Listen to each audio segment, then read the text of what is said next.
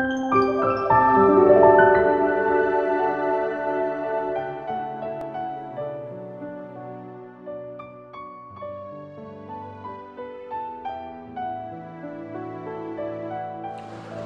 い、えー、と、笑いの連邦共和国 Vlog です。えー、と、まあ、メインで使ってた、まあ、メインでっていうわけでもないですが、パソコンがですね、えー、壊れちゃいまして。あのー、デスクトップっていうのは、あんまり実は家で使ってませんで、まあ、ほとんど、うん、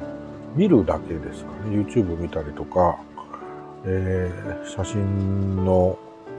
あの、リサイズしたりとか、露出補正したりとか、あるいは外部の、あの、大容量のハードディスク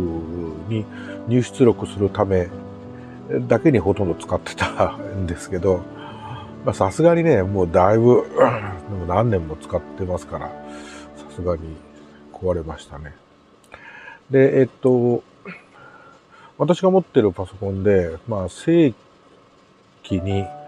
えー、Windows 11が走る、えー、要するにアップグレードできるパソコンっていうのは一台もありませんで、まあ、このデスクトップ、デスクトップ機ってもうあの、ちっちゃいミニサイズのパソコンでして、えー、台湾の LIVA っていうちっちゃいミニパソコンなんですけど、これが壊れまして、とうとう。で、他に持ってるのが、まあ、あと全部ノートで、えっ、ー、と、パナソニックのレッツノートの SX2 ってこれまた古いですよね。えー、ハードディスクの仕様で、メモリーがね、4GB しかなくて、光学ドライブはコンボドライブがついてるんですけど、まあもともと中古でね、安く買ったものなので、早々で壊れてまして、機能しないということで、まあそれを、まあ HDMI えー、端子がついてますので、あの、テレビがね、家のテレビがモニター代わりになってますね。まあ、テレビあまり見ませんので、えー、ほとんどパソコンのモニターとしか使ってませんので、まあ、HDMI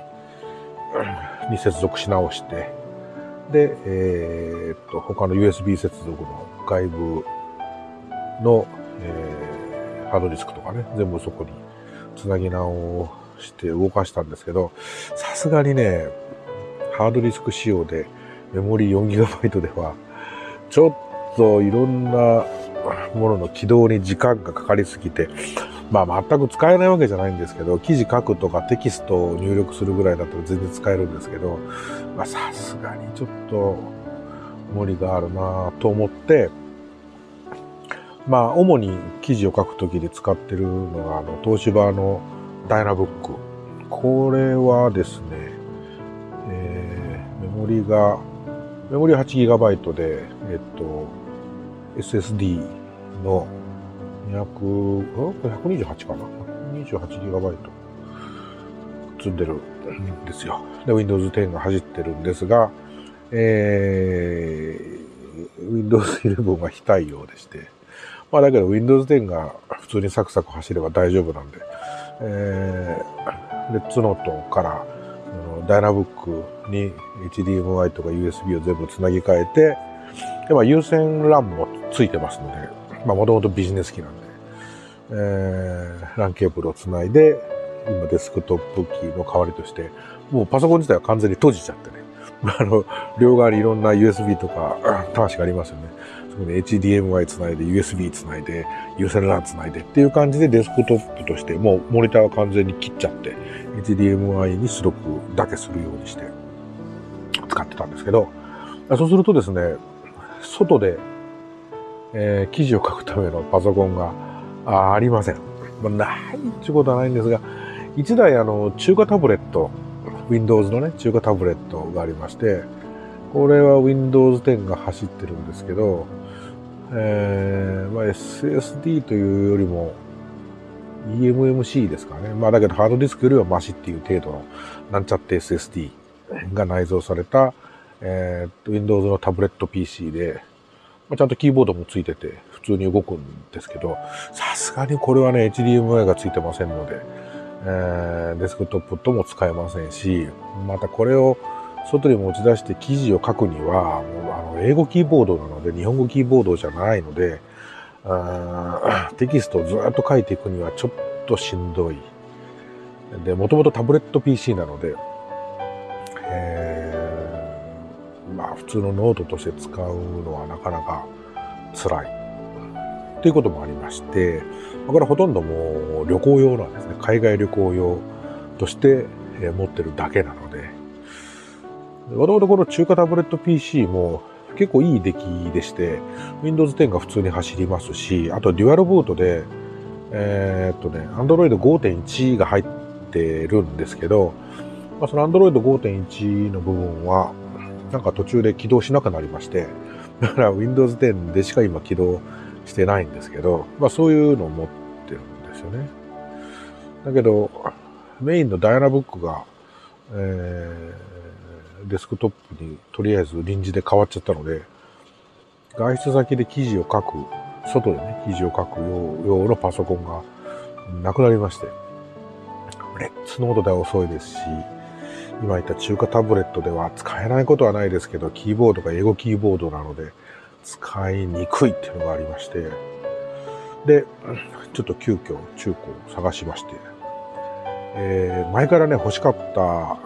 ブランドってですね、まあ、ダイナブック持ってますけど、それと、レッツノートも好きで持ってますけど、どうしてもね、あの、レノボ、昔の IBM ですね、えー、の ThinkPad を使ってみたかったんですよね。で、その3機種探してまして、ダイナブックと、 ThinkPad と、レッツノート探してまして、えー、まあ、どれもあったんですけどね。どれもあったんですけど、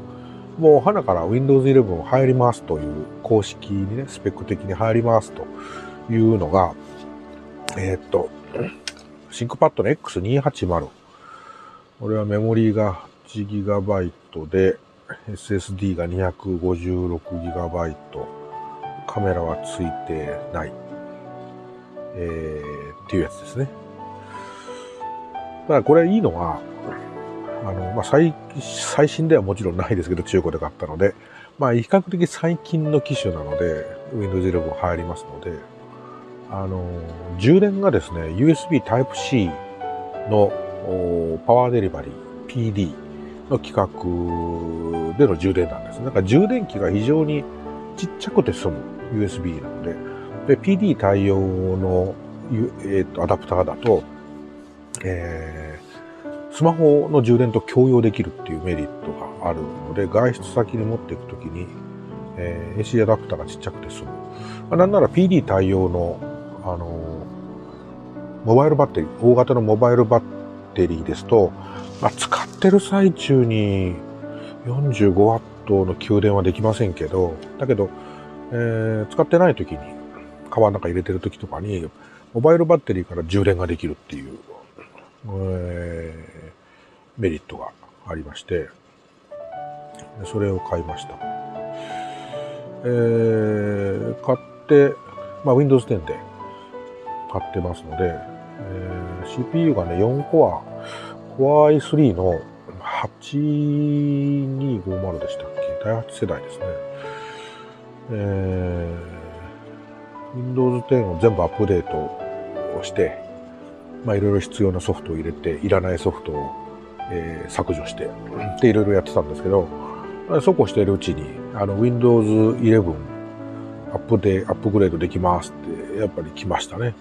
標準で来ましたので、そのままアップグレードをしました。で、その前に Windows 10の段階で、まあ、256GB の SSD があるので、その中から 32GB だったかな？を、えー、パーティション切って、まあ、そこに Linux を入れてデュアルブートにしました。これはあの、非常時に Windows がおかしくなっちゃった時に Linux を立ち上げてそこから復旧させるとか、えー、あるいは Linux 軽いですので、あのバッテリーでね、低電力で運用してるときに Linux で立ち上げると普通にサクサク動くっていうことで、まあそういう目的もあってデュアルブートにしてたんですけど、そうこうしてるうちに Windows 11のアップグレードが来ましたので、アップグレードをしました。Windows 11はまだまだ改善の余地いっぱいありますね。あの、使いやすいところもありますけど、えっと、Windows 10の方が良かったな、見やすかったなとか、使いやすかったなっていうことが結構ありますので、そこは難しいところですね。まあ、ただ徐々に改善はされて、アップデートで改善はされていくと思いますけど、Windows 10自体がまだあと3年使えますので、まあ、不満がなければ、まあ、別に無理にすぐに Windows 11にする必要もないような気もしますけど、ただあの、えっと、非常にあの、えー、スマートフォンを意識したようなメニューになってまして、Windows 10よりもね、さらに、えー、ちょっとスマートフォン寄りの設定画面になってるので、まあ、スマートフォンを使われ、主にね、使われる方、Android 特にね、使われる方には、親和性が11の方が高いかもしれませんね。まあ、あの、Windows 10と比べて不足する Windows 11の機能っていうのは、えー、サードパーティーのソフトでなんとかなるのもいくつかありますので、えー、まあ、改善されるまではそういうソフトで対応したりしてますよね。動き自体はね、別に Windows 10と Windows 11って大して変わらないような気がしますね。今までのマイクロソフトの OS ってバージョンが上がるとえー、大体重くなってたんですね。要は、機能が追加されたり、綺麗になったり、まあ、動きが滑らかだったり、まあ、いろんな、えー、ことで、あの、機能は上がるんですけど、要求するスペックも高くなるので、えー、大体動きづらくなる、なって使いにくくなるパターンが多かったんですけど、よっぽど高スペックなパソコンじゃない限りはね。だけど、これは、さほどでもない。Windows 10から Windows 11になって劇的に遅くなったなというようなことは今のところ感じないですね。でですね、えー、面白いのが Windows 11ってあの、標準でね、アップデートできます、アップグレードできますっていう要求がものすごく高いので、えー、もう5年ぐらい前のパソコンでは Windows 11入らないんですよね、標準では。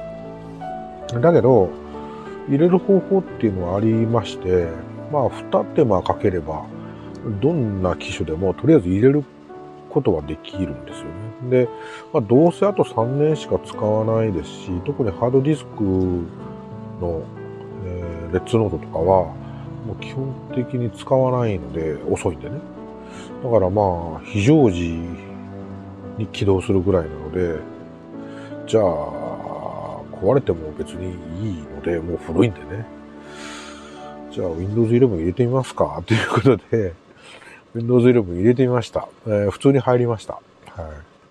あの、これは手動で入れないといけないので、自動であの Windows アップデートから Windows 11は入りません。えー、X280 はスペック満たしてるので、えー、普通に Windows アップデートで入りましたけど、これダイナバックもそうですし、レッツノートもそうですし、それから中華タブレットも Windows 11入りました。普通に入ります。で、これはですね、Windows 10のライセンスをちゃんと持っておれば、無料で Windows 11にアップグレードできますけども、えー、っとね、まず、マイクロソフトのページから Windows 11の ISO ファイル、まあ、要はその DVD に焼く元のファイルですね。DVD 形式の ISO ファイルをダウンロードしてくるんですよね。で、そのまま、まあ、DVD に焼いてもいいですし、ハードディスクに保存したり、USB メモリに保存して、マウントをかけてね、えー、要するにそれを、そのファイル、その ISO ファイルを DVD ドライブとして認識させて、えー、オートラン自動的に起動させて、えー、まあ、アップデートをするんですけど、それやると引っかかっちゃうので、あの、Windows 11の要求するえー、ハードにね、えー、足りませんということで、アップグレードができないんですよ。なので、ちょっと一手間かけまして、一旦その ISO ファイルを、えー、ISO ファイルって、まあ、要は、ハードディスクじゃなくて DVD に焼くためのファイルなので、もう一個しかないんですね、ファイル自体は。で、それを、まあ、圧縮されてますので、それをバラバラに、全部のファイルごとに分けちゃうんですね。で、まあ、回答するような感じで分けまして、で、その中から、その、Windows 11にアップグレードするための、あの、チェックをするライブラリーがあるんですよ。まあ、ちっちゃなプログラムが。でそのチェックをするプログラムを、えー、回答した上で、それを削るんですね。それ削除するんですね。で、そのライブラリーを削除した上で、えー、USB メモリに書き込んで、それを挿して、えー、ランかけると、プログラムを、アップデートプログラムを、えー、ダブルクリックして走らせると、えー、普通に、まあ、ちゃんと SSD の容量はね、ちゃんと空きがあればですけど、えー、普通に入ります。えー、っと、ハード、ハードのチェックをしないので、そのまま入ります。入るからといって、Windows 11動いてますけど、アップデートもちゃんと Windows 11のアップデートできますけど、だからといって速くなるかというとなりませんので、えーまあ、快適になるかというと別にならないですね。ただあの、ダイナブックはも、まあ、もともと CPU も、えー、2コア4スレッドですし、えっと、メモリーも 8GB 積んでますし、あと SSD なので、まあ、早い、もともとから早いんですよね。だから Windows 11、公式には11入りませんけど、手動で入れても普通に動きます。あの Windows 10とあんまり変わらないぐらいで動きますし、Windows アップデートもちゃんとかかりますので、えー、ただハードの要件を満たさないっていうだけの話ですかね。ただまあね、これ Windows 11無理やり手動で入れちゃうと、サポート対象外になりますけど、そもそも中古で買った古いパソコンですし、そもそも保証なんてもうすでにハードの保証なんてないですし、Windows も Microsoft のサポートなんて受けたこと一回もないですしね。Windows 3.1からずっと使ってますけど、えー、95になってね、そこから何ですかね。何になったんですか。95、98、ME2000、えー、まあ、あと何ですか？ね。7? あ、XP がありますかね。XP7、8.1、10、11。マイクロソフトのサポートを受けたこと一回もないので、別に もう保証なくたってね、もう中古でだいぶ使い倒して、あの、がっつり元は取ってますので、別にそれで壊れたら、えー、中華タブレット以外は全部リナ Linux のデュアルブートにしてますので、その場合は Linux を立ち上げて Linux で使えばいいだけの話ですね。Linux だと十分使えるんですよね。どんな低スペックの、あの、やつでも。で、私が使ってる Linux って Linux Mint っていう、Ubuntu っていう、まあ今、多分世界で一番シェアの高い、えー、Linux ディストリビューションですけど、それの派生で、えっと、Linux Mint っていうのがあるんですけど、それを使ってます。まあ、初心者っちゃ初心者なので、Ubuntu よりも Linux Mint の方が Windows に操作感が非常に近いので使いやすいんですね。で、なんならその外観を全部その有志が作った Windows 10に近いテーマを、えー、適用してあげれば、あほぼほぼ Windows 10と同じようなあの操作感になりますので、えー、慣れれば、あの、操作にこ Linux でも困ることはないですね。主に使うブラウザーは Chrome、Google Chrome ありますので、Linux で Google Chrome 入れて、で、あの、Google アカウントをちゃんと入れてあげれば、全部同期しますので、えー、使ってる Google Chrome を使ってブラウザで見てる限りは、Windows 使ってるのか Linux 使ってるのかわかんないですね。えー、Office はね、あんま使わないですけど、もちろん Linux は Microsoft Office はないので、えー、っと、最初から入ってるのが LibreOffice っていうオープンオフィスですね。無料の、えー、オフィスが入ってますけど、まあちょっと表計算したり、えー、まあマイクロソフトでいうエクセルですよね。だけど、ワードから、えー、なんか地震ですかね。ワードとかエクセルとか、その類のやつを、リブレオフィスで普通に使う分にはなんか別に不具合はないですしね、そのまま使えばいいんですね、無料ですし。まあなんなら Linux って OS 自体は無料ですし、えー、何もね、OS の入ってない、ちょっと古い、こんなの誰がつ、ね、使うんだよ、みたいなありますよね。そういう古いあのパソコンを仮にね、5000円とか1万円とか、もうほぼほぼなんか投げ売りみたいなやつで買ってきても、Windows は入んないかもしれませんけど、Linux だったら入る可能性があるので、Linux 専用機として、えー、USB メモリーかなんかでね、あの、ブートして、インストールして、えー、使って、もう Windows にほぼ、ほぼほぼ近いような外観にしてしまえば、うん、あの、Windows みたいな感じで使えますよね。大概のソフトはね、Windows と互換、あるいは同じソフトの Linux 版っていうのが出てますよね。最近はね。だからあんまり困ること、Linux だからって言って困ることはないですね。あと、ファイルのやり取りっていうのありますけど、あの、デュアルブートにしてる場合は、Linux から Windows の方は読めますので、NTFS とかね、えー、FAT32 とか、EXFAT とか、いろんなファイルシステムありますけど、Linux からだとほぼ全部読めますので、あの、Windows のパーティションのファイルを操作することは可能です。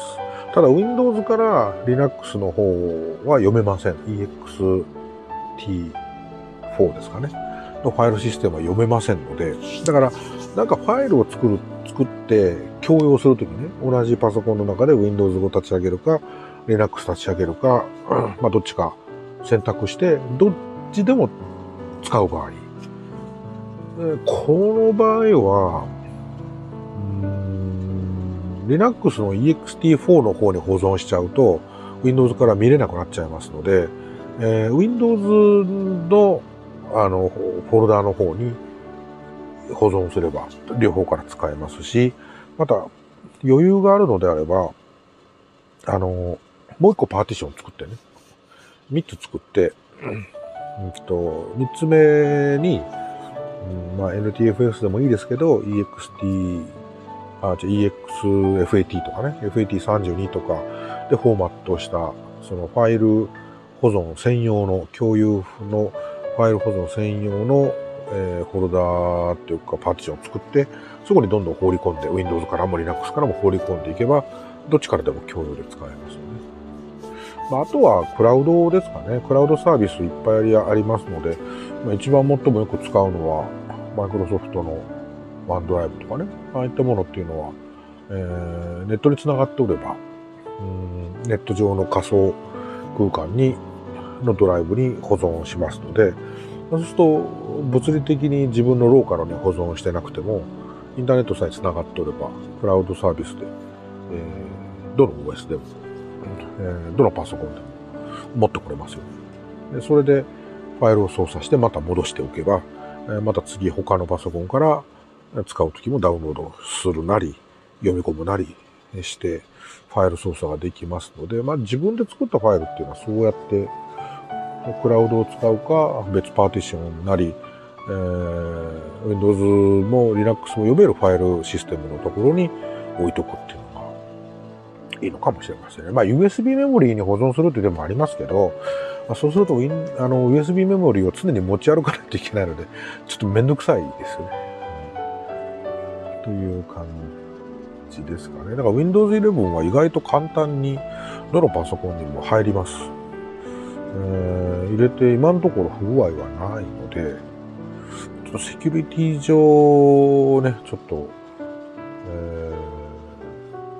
ハードウェアの関係でセキュリティ上上どうなのかなっていう、あの、古いパソコンもありますけどね。まあでもどっちにしてもそれだって Windows 10で使い続けたってあと3年しか使えないので、であれば Windows 11で、えー、使えるんだったらですよ。使っててもいいのかなと思いますね。で、以降は Windows 11になっちゃうと他のパソコン使うときに Windows 10だと操作方法がまあほとんど一緒ですけど若干異なったりするのでまあできれば問題がないのであれば新しい OS に合わせておいた方が持ってるパソコン全部ね合わせておいた方が操作はしやすいし間もつかないし、えー、まあまあ迷わなくていいので楽なのかもしれないですね。えっ、ー、と、X280 っていうこのレノボの、シックパッドですけど、うーん、キーボードがね、ちょっと癖がありますかね。押し具合とかは別にいいですけど、ダイナブックよりもキーは押しやすいですかね。パナソニックには負けます。レッツノートのえー、キーボードっていうのは最高に打ちやすいですかね。それには負けます。ただ、キー配列がちょっとね、若干癖があるので、えー、慣れですけどね、結局慣れなんですけど、え、なんでこれがこの位置にあるのかなとか、なんか変な癖があるような気がします。慣れれば問題ないと思いますけど、ちょっと癖がありますよね。えー、マウスパッド、なんかトラックパッド、トラックパッド？違うわ。なんかの赤ポチありますよね。赤ポチ便利なんでしょうけどね、今まで使ったことがないので、まだほとんど使ってませんが、えー、普通にブラウザを操作するとか、うん、画像を操作するとか、いう時は大体マウスつけて使ってますので、あんま使わないですよね。充電はね、やっぱり早いです。パワーデリバリーで一気に充電してしまうので、高電圧で充電してしまうので、早いっちゃ早いですね。だからどれだけバッテリーが下手ってるのかわかりませんけど、一応キャリブレーションして測った結果は、1割、1割ぐらいですかね。1割ぐらい、えー、容量は減ってました。だから、普通に使うと、どうですかね。使い方にもよりますけど、5、6時間ですかね、持つ時間が。もうちょっとパワーセーブすれば持つと思うんですけど、あんまりパワーセーブすると、うん、操作が遅くなっちゃうので、えー、まあ、それだけ動けば十分かなと思いますね。ただ、これの欠点はですね、バッテリーが容易に交換できないんですよ。普通のノートパソコンって、あの、後ろの方にね、バッテリーパックをリリースする、こう、スイッチっていうかね、えー、ボタンとかそういうのがあって、それを押すとガチャッと外れて、で、その替えのバッテリー、新しいバッテリーをガチャッと入れればいいわけじゃないですか。まあ、予備のバッテリーを持っっていこうと思えばいけるわけですよね。持っていって、その新しい予備のバッテリーになくなればガチャッと刺せば、まあ、あの AC 環境がない時ですよ。もうバッテリーだけで使い切ってしまって、予備バッテリーを買っておけば、それをガチャッと入れればまだ使えるわけですよね。だから予備バッテリーさえ持っていけばいいんですけど、これね、シンクパッドの場合は、裏開けないとバッテリー交換できないんですよ。しかも、裏開けるのにネジ入りますけど、開けた後もネジいるんですよね。えー、なので、何もない状態で気軽にバッテリーを交換するっていうことがちょっとできません。裏側がちょっとなんかスイッチをして、リリースして、えー、新しいバッテリーをつけるってことができません。えー、一旦裏を開けて、ネジを外して内蔵のバッテリーを変えることになります。ただ、あの、シンクパッドっていうのは、もう、開けてくれと言わんばかりに、えー、開けることが前提に作られてるみたいなパソコンなので、あの、内蔵のね、バッテリーだとか、あるいは SSD だとか、そういったものにアクセスするのはむちゃくちゃ簡単です。パナソニックとかむちゃくちゃ難しいですよね。開けるのね。まあ、開けるのは開けれますけど、ネジ外して開くんですけど、開けた後も大変なんですよね、パナソニックなんかは。だけど、レノボは、もう、開けること前提に作ってあるみたいなものなので、えー、改造は、改造とかね、いろんなパーツの取り替えとか、まあ、できるものとできないものとありますけど、比較的簡単にアクセスができます。私の持ってるのは、えっ、ー、と、バッテリーはね、予備バッテリー、まあ、サードパーティー製の、あのー、安い、えー、バッテリーを、まあ、4、5千円ぐらいで売ってますので、その新品をね、えー、Amazon でポチって、えー、付け替えれば、まあ、新品のバッテリーかに変わりますので、まあ、そうすることもできますけど、まあ、今のバついてるバッテリーが1割ぐらいしか減ってなかったので、まあ、しばらくこれは使えるんだろうと思いま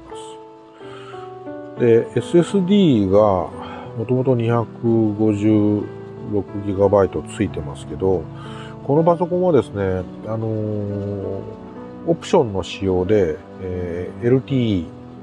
えー、要はデータ通信ですね。データ通信モジュールを付けられるようになってるんですよ。だから、携帯電話と同じように、スマホと同じように、こう、ピンを刺せば、こうガチャッとトレイが出てきて、そこに、えっ、ー、と、SIM カードとか、それからマイクロ SD カードとかを置いて、えー、スマホのように閉めると、SIM カードが、まあ、動作するっていう、まあ、仕様になってるんですよ、パソコン自体が。だけど私の買ったのは、その LTE モジュールはついてないので、LTE モジュールは空きベイになってるんですね。中開けると。空きになってるんですけど、えー、ただし、S、マイクロ SD カードは、あ付けられるようになってるので、ピンを挿してトレイを開けて、そこに、えっと、マイクロ SD カードを置いて閉めれば、マイクロ SD カードはちゃんと認識して使えるんですね。で、その LTE のモジュールが、つくだろう場所はですね、あの、これ何だったかな ?PCI エクスプレスですかね。PCI エクスプレスのモジュールがつく場所なんですよ。で、LTE のモジュールついてないので空いてるわけですよね、一個。ボーンと。で、誰か実験したみたいで、そこに追加の SSD がつくんじゃないかっていうことで、えー、っとね、SATA は、SATA はつかなかったけど、NVMe の SSD は普通についたらしいです。なので、もともと刺さってる 256GB の SSD は最初からついてる。Windows が入ってるね。ついてるんですけど、追加で空いてるところに、あの、M.2 の SSD をガチャッとつければ、えー、使えるんだそうです。SSD2 台、2台っていうか SSD が2枚入るんだそうです。ただ、あの、これも制約があるみたいで、もともと、SSD をつける用のベイじゃないので、あの、両面実装のね、基板があって、両面にメモリがついてる両面実装のやつは干渉して、つけられないそうですけど、片面実装の SSD だったら、ちゃんとついて、ちゃんと認識するんだそうです。片面実装のものってあるのかっていうと、あるらしいです。中国のメーカーであるらしくて、それ実際に輸入して、まあ日本でも売ってるのかな？アマゾンで売ってるみたいですけど、それ買ってつけたら普通に動作したそうです。なので、まあ、記憶容量がなくなれば、第一選択肢としてはマイクロ SD、例えば 128GB とかね、256GB の、まあ今マイクロ SD カード安いですから、マイクロ SD 買ってきてトレーに乗せてガチャッと入れて、あの、SD カードとして使う。だけど SD カード遅いので、スピードがね、書き込み読み込みのスピードが SSD に比べて遅いので、まあちょっとファイルをやり取りするぐらいだったらいいですけど、もっと高速にということであれば、えー、もう一枚追加で大容量の SSD をガチャッとつけちゃって、えー、なんとかするという手はありそうですかね。まあ、そういう形でレノボのシンクパッドって拡張性が高い公式じゃないですよ。公式にじゃなくて、裏側開けると、えー、まあ、結構あの、拡張性が高そうなので、まあ、いじりがいがあると言いますか、拡張のしがいがあると言いますか、えー、ノートパソコンなのに SSD が2台ついてるとかね。なんか、まあ、2台ついてるとっても基板にね、さ、刺すだけなので、昔みたいにこんなでかいものがガチャッとかついてるとか、2.5インチとかね、えの SSD がガチャッと刺さってるとか、そんなんじゃないんで、もうほんとこんなちっちゃな基板が1枚パチって刺さってるだけなんで、だけど、こうパッと見そんなノートパソコンに、開けてね、中身を見ると、SSD が2枚刺さってて、むっちゃ大容量だったみたいな、なんかそういう面白いですよね。まあ自己満足ですけど。まあそういうのにも使えそうで、なんか楽しみだなと。まあそんな風に、はい、思いました。まああの、まだ使って1週間、ちょっとしか経ってませんので、また X280 のことはよくわかりませんけど、はい。ダイナブックの方は今デスクトップとしてずっと電源入れっぱなしで、えー、元気に働いてくれてるので、まあ、これが壊れたら、もうちょっとマシなやつを探そうかなと思いますけど、まあ今のところ動画見るぐらいしか使ってませんので、これでいいのかなと いう感じですかね。はい。なので久しぶりに、あの、中古のノートパソコンを買いましたというお話でした。以上です。今日もおいただきましてありがとうございました。